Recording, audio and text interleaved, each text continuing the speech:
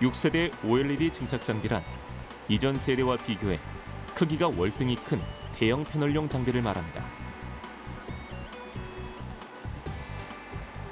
패널 크기의 차이는 곧 장비의 규모와 연결되는데 현재까지 6세대 증착 장비를 만들 수 있는 선두 국가는 우리나라와 일본뿐입니다.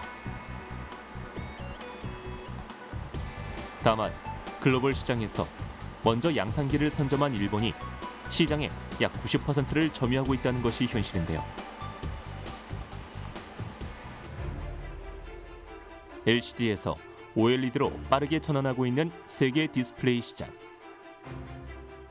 증착 장비의 시장 점유율을 바꿀 수 있는 건 8세대의 선점입니다.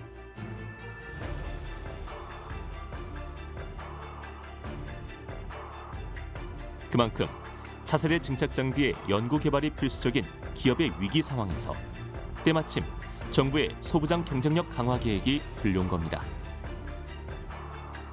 독자적인 기술력을 지니고 있었기에 기업은 도약의 기회를 잡을 수 있었죠. 독자 개발을 한다고 할 것 같으면 중소 중견 기업이 감당하기는 굉장히 어렵죠. 그러나 소부장 제도를 통해서 저희들이 그런 어, 금전적 지원을 많이 받게 돼서 원활하게 현재로서는 첨단 기술 개발에 저희들이 활용을 잘 하고 있습니다. 저희들이 일단 원천 기술 개발과 특허화, 특허는 주 무기가 돼야 되기 때문에 특허의 출원과 등록을 보다 강화를 할 수 있었고요. 연구개발 인력을 확충하는 데 있어서도 첨단 기술을 개발하면서 연구개발 인력이 숫자와 quality, 즉 어, 능력이 배양이 된다는 것은 굉장히 중요한데 그 부분에 있어서도 역시 많은 부분에 있어서 진전이 있었습니다. 국내 소부장 기업에게 필요한 건 원천 기술 확보를 위한 R&D 구축 환경과 수요 기업과의 연계입니다. 어떤 기술을 새롭게 개발한다는 건 시간과 전문 인력 그리고 비용이 소요되는 일이지만 R&D는 무엇보다 필수적인 일이죠. 수요 기업과의 연계성을 갖는다는 것 또한 소부장 기업들에겐 말처럼 쉬운 일이 아닙니다.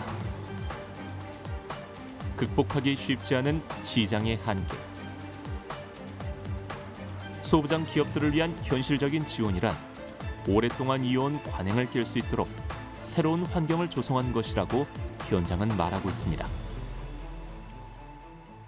조금 더 여유를 갖고 이제는 대한민국의 소재 부품 장비도 많이 발전했다라는 인식하에 이제는 조금 더 적극적으로 사용을 해주고 내가 어, 조금 손실이 있다 하더라도 이제는 그 많은 부분의 역량이 증진이 됐기 때문에 한 번쯤 써보고 또 한 번 개선을 해주는 함께 개선해주는 그런 것들이 좀 필요하다고 보고 따라서 인식의 전환이 좀 필요하긴 한데요.